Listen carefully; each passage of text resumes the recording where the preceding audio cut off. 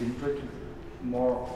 Um, yeah. It is this year 50 years since we met, but it's not an anniversary of our collaboration because we do not collaborate. We are two people, but one artist. There are artists who collaborate, but we do not.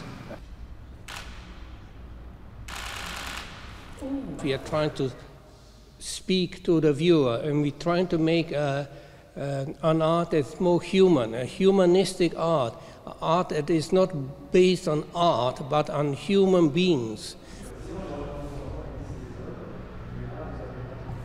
We realize that the whole of the subject of the beard depends on where you live in the world and at which time. When we were teenagers, it would be impossible to get a job in England if you had a beard.